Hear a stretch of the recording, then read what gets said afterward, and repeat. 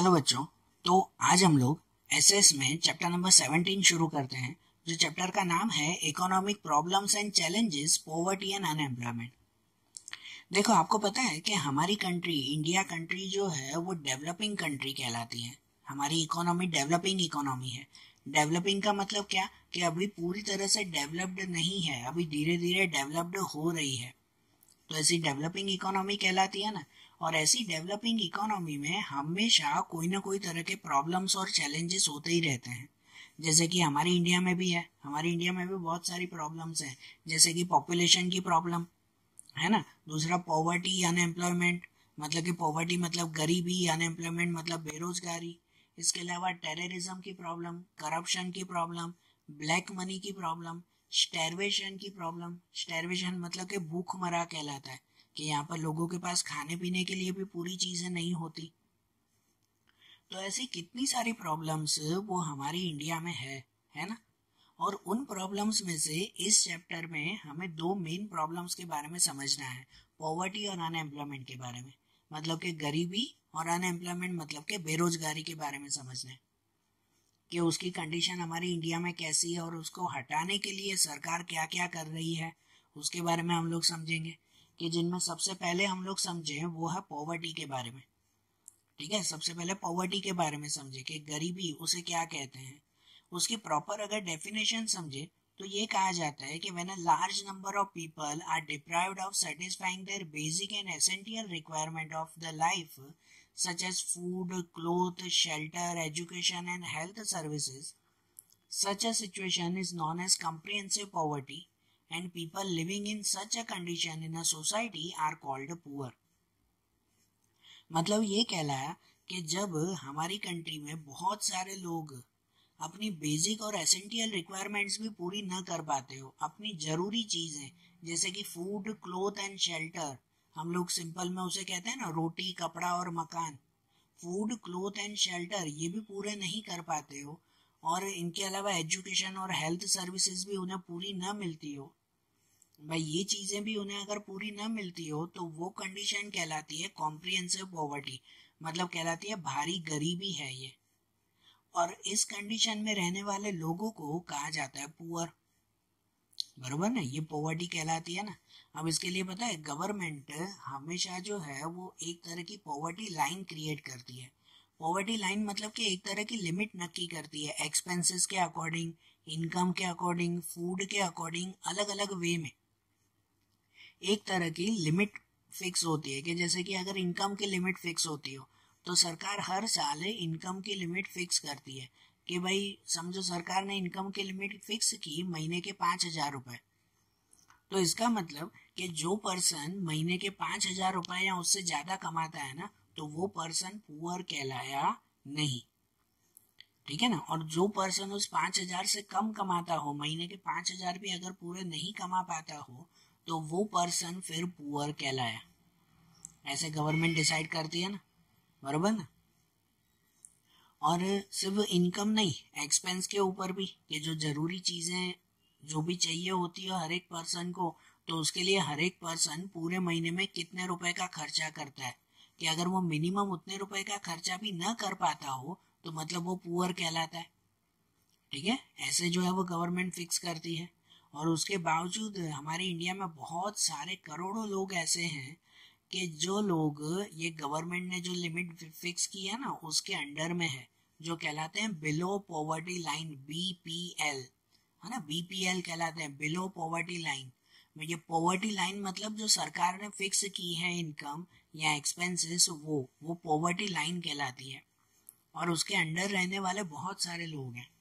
और जिनमें हम लोग पहला टॉपिक पढ़े कि people living below poverty line कि ये पॉवर्टी लाइन के अंडर रहने वाले मतलब जनरली ये जो पुअर पीपल कहलाते हैं, उन पुअर पीपल की कंडीशन कैसी होती है, उनके कैरेक्टरिस्टिक क्या होते हैं, वो हम लोग समझे।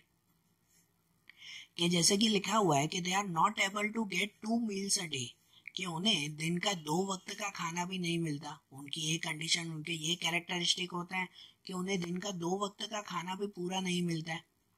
They suffer from the problem of unavailability of the dwelling places unavailability of dwelling places मतलब कि भाई रहने के लिए पूरी जगह भी इन्हें मिलती नहीं है। बरोबर ना? कि भाई इन्हें प्रॉपरली जो क्या कह सकते हैं कि भाई पक्का घर हो, मकान हो, ऐसा भी इन्हें मिलता नहीं है। और इसी वजह से जो नेक्स्ट कहते हैं they force to live in shabby and slum areas इनके पास पक्के मकान, पक्के घर नहीं होते और इनकी वजह से इन्हें ऐसे शेबी और स्लम एरियाज़ में मतलब कि ऐसे झूपड़पट्टे वाले एरियाओं में, ऐसे गंदगी वाले एरियाओं में इन्हें रहना पड़ता है। बरोबर ना? ज़बरदस्ती इन्हें रहना पड़ता है वहाँ पर।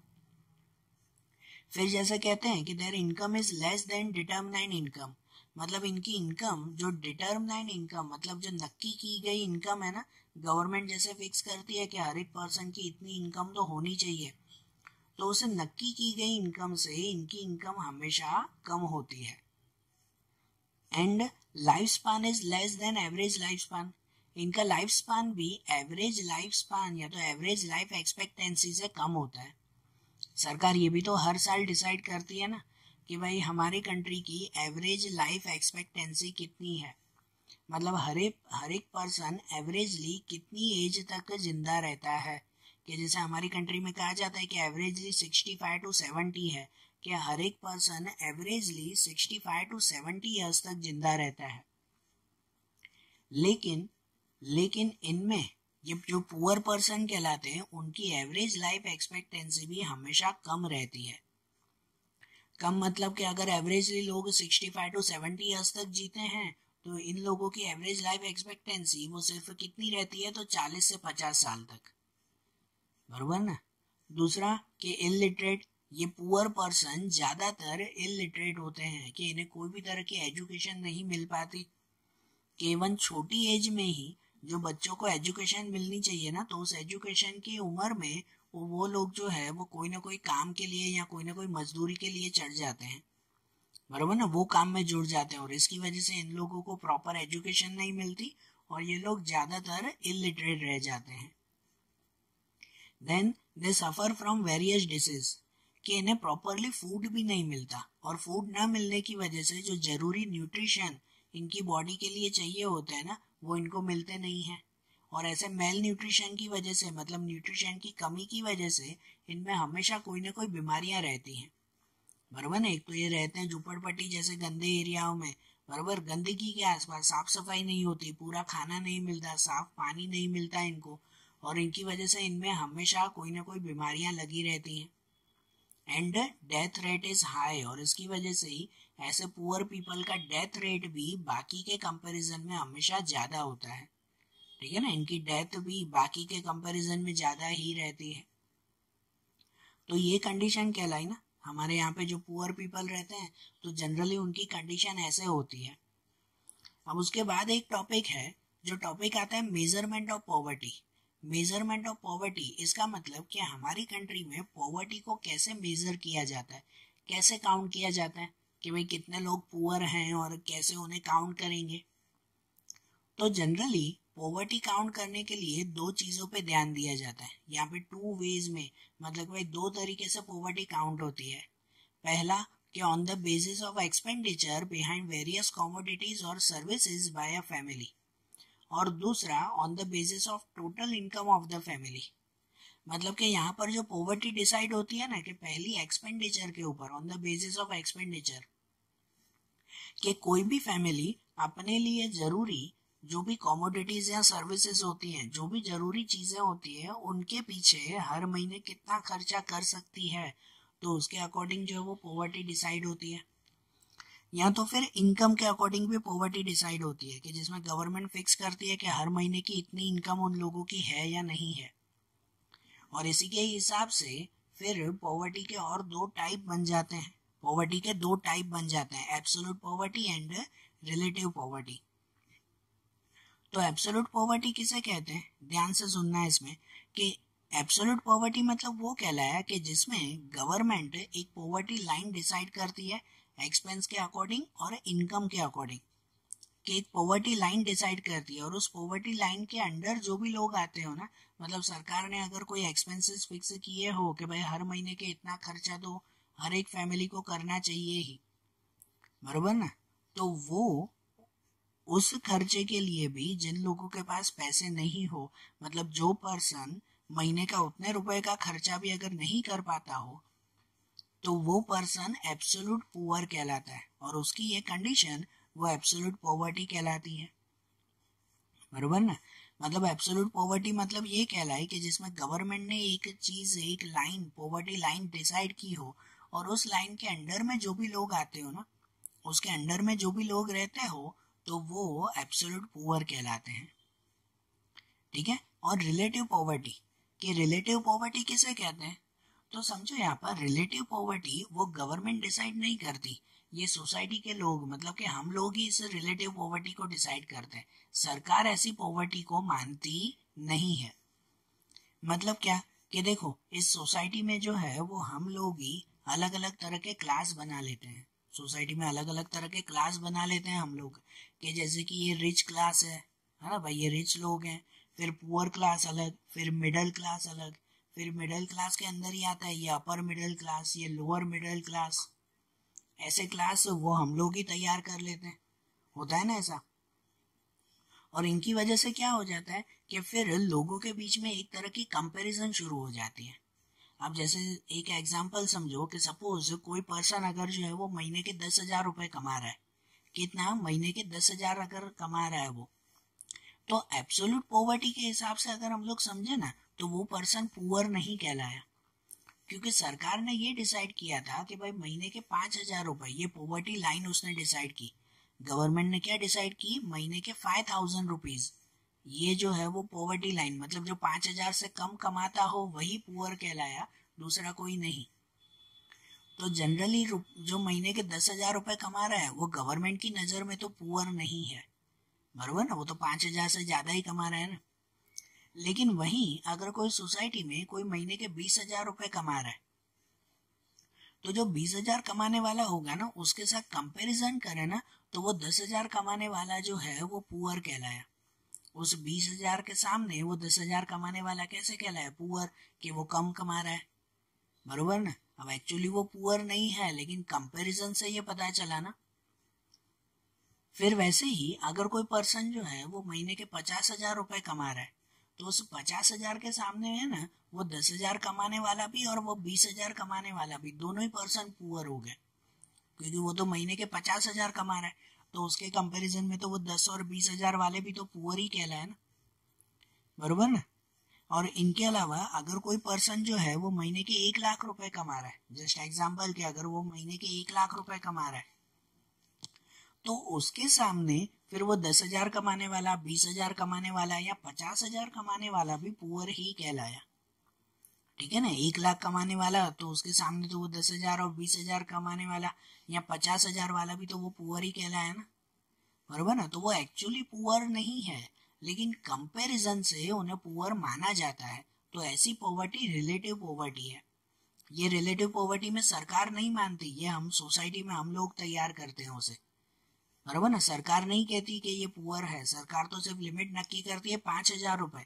कि जो पाँच हज़ार से कम हो, वही पुअर कहलाया लेकिन सोसाइटी में हम लोग जो डिसाइड करते हैं, वो एक तरह की रिलेटिव पॉवर्टी कहलाई तो अब डिफरेंस पता चल रहा है ना कि एब्सोल्यूट पॉवर्टी और रिलेटिव पॉवर्टी किसे कहते हैं? एब्सोल्यूट पॉवर्टी जैसे गवर्नमेंट डिसाइड करती है एक लिमिट वो। और relative poverty relative poverty comparison से हम लोग डिसाइड करते हैं गवर्नमेंट नहीं। आई बात समझ में? अब देखो, इन्हीं पॉवर्टी के अकॉर्डिंग फिर दूसरा टॉपिक आता है टाइप्स ऑफ़ पुअर पुअर के टाइप्स जिनमें आता है रूरल एंड अर्बन पुअर कि रूरल मतलब क्या? रूरल मतलब कहलाता है विलेज एरिया गाँव में रहने वाले जो पुअर पर्सन हो वो। और अर्बन अर्बन मतलब कहलाता है सिटी एरिया ठीक है? कि जो सिटी में रहने वाले पुअर पर्सन हो वो। आई बात समझ में? तो यहाँ एक चीज़ समझो। इससे पहले एक बात ये समझो कि गवर्नमेंट हर हर जो है वो दस दस सालों में सेंसस करती है। पता है ना? हर दस सालों में सेंसस होता है मतलब कि जनगणना होती है। पूरी पॉपुलेशन की काउंटिंग होती है। जो लास्ट काउंटिंग हुई थी 2011-12 में। अभी उसके बाद अब अगले साल 2021 में ऐसा होगा ना। तो 2011-12 में जब ये काउंटिंग हुई थी ना, तब गवर्नमेंट ने जो है, वो एक लिमिट डिसाइड की थी, जो पॉवर्टी लाइन जैसे कहा जाता है। उस लिमिट के हिसाब से कि पुअर पर्सन जो रूरल एरिया में रहते हो मतलब कि जो गाँव में रहने वाले लोग हैं ना, कि उसमें per person eight hundred sixteen rupees और पूरी फैमिली अब गवर्नमेंट पता है फैमिली किसे कहती है? तो गवर्नमेंट फैमिली मानती है कि जिसमें कम से कम पाँच लोग रहते हो, पाँच लोगों की फैमिली तो उसे वो गवर्नमेंट मानती है।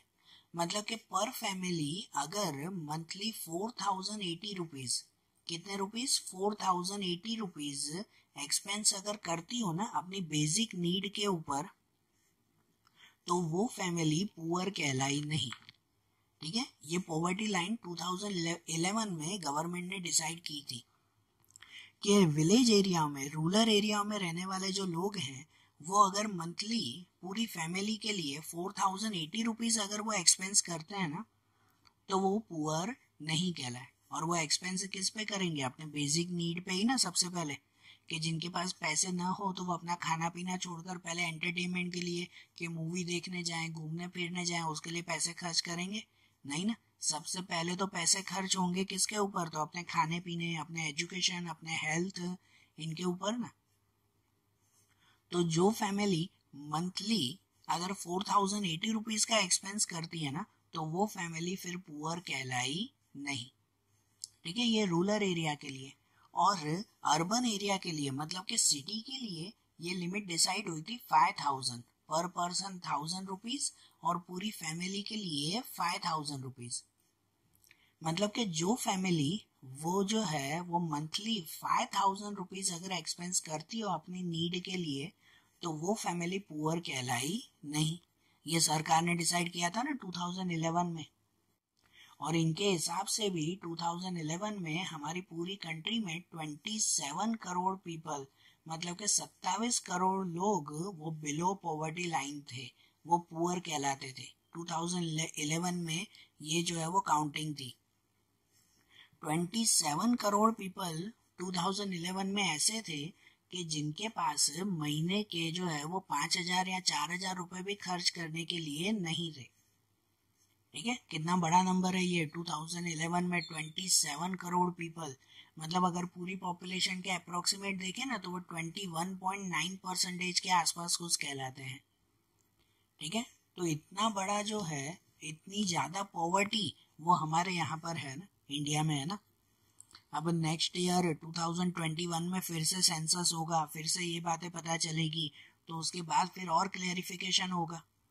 और जो है वो चीज़ें क्लियर होगी कि अब ये पॉवर्टी दस सालों में बढ़ी है या दस सालों में कम हो गई, वो पता चलेगा ना अगले साल फिर। बरबर?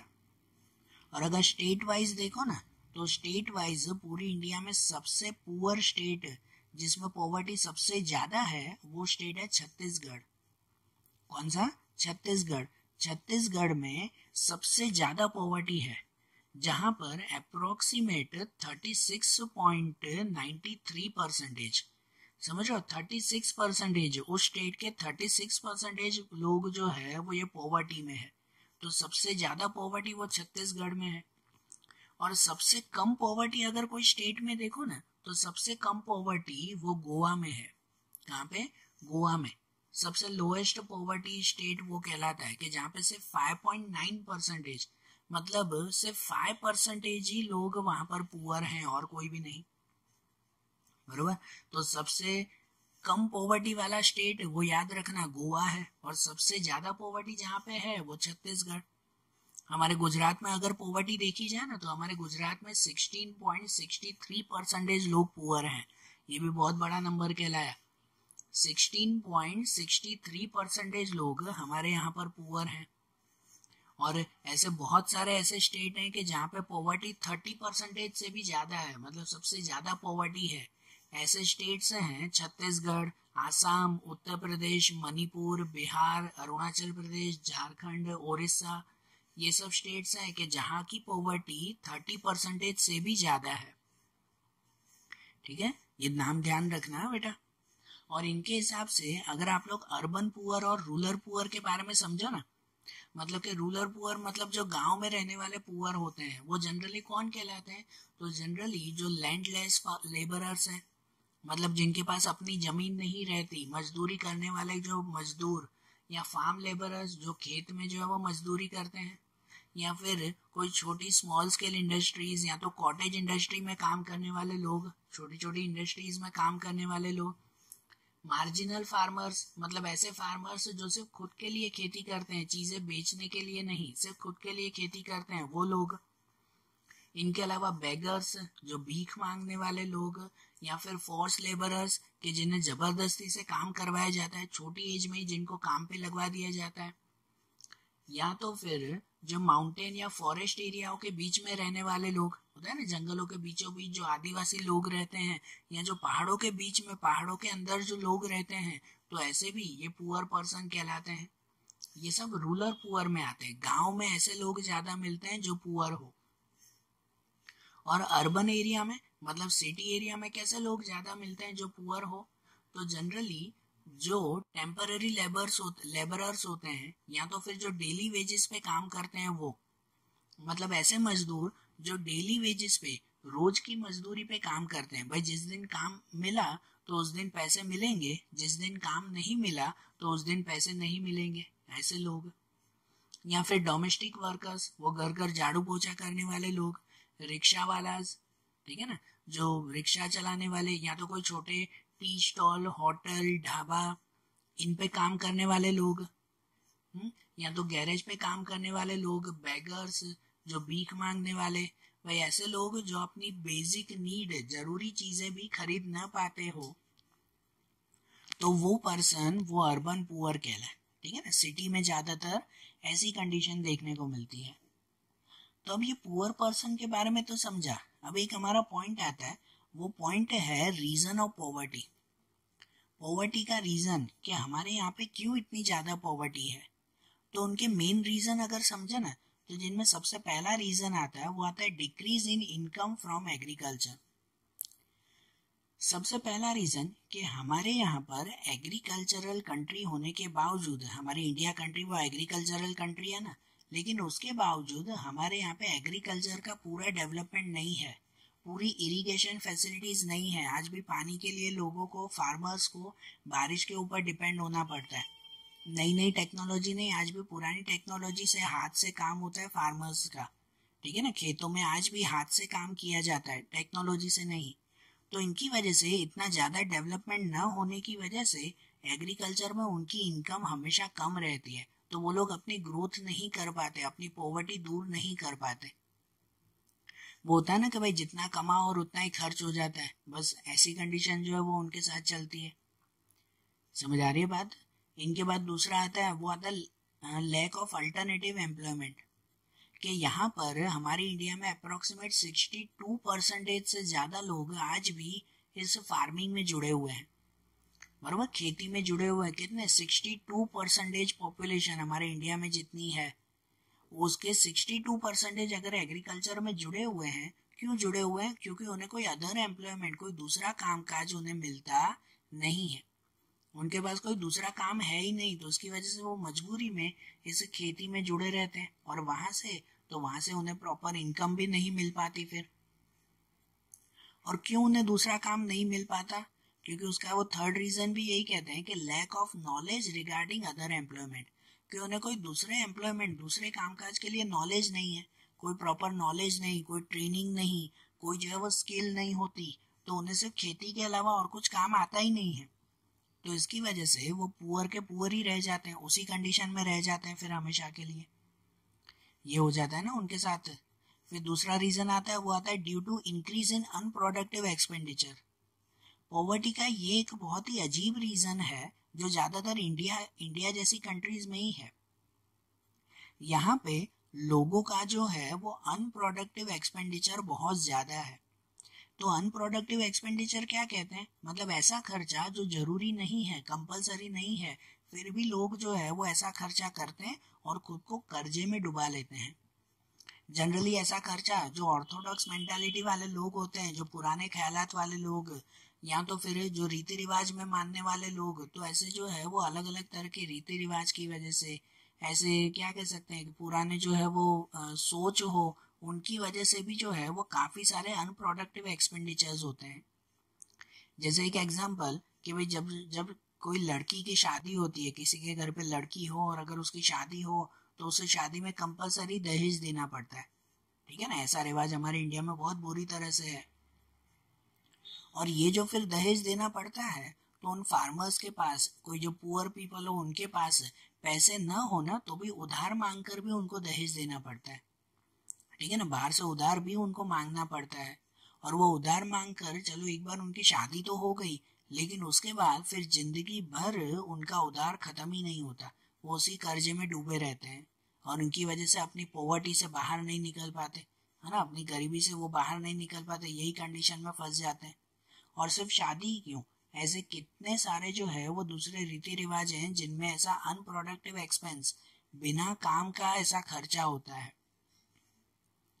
कि जैसे अगर कोई फेस्टिवल आता है, कोई त्यौहार आता है तो इसके घर पे ये भिजवाना है, इसके घर पे जो है वो ये हमें रीति रिवाज पूरे करने हैं। होता है ना? यहाँ तक कि किसी की डेथ हो जाए तो फिर अलग अलग तरह के रीति रिवाज होते हैं। अब कोई पुअर पर्सन हो, जिनके पास पैसे न हो तो भी उधार मांग कर भी फ़िलहाल उसे ये काम करना पड़ता है। है कि नहीं? या अगर डेथ के वक्त या तो फिर जो है वो बर्थ के वक्त भी, किसी के घर अगर कोई बच्चा पैदा हुआ हो तो भी अलग अलग रीति रिवाज करते हैं कि ये करना पड़ेगा, वो करना पड़ेगा। फिर भले पैसे हो के ना हो, ये चीज़ें तो करनी ही पड़ती है, वो लोग ऐसा मानते हैं।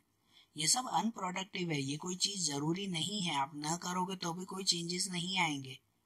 लेकिन लोगों को, कहते ना, उनकी सोच ऐसी बन जाती है कि नहीं, ये तो करना ही है, फिर पैसे न भी हो तो भी उधारी में जो है वो ये काम करते हैं।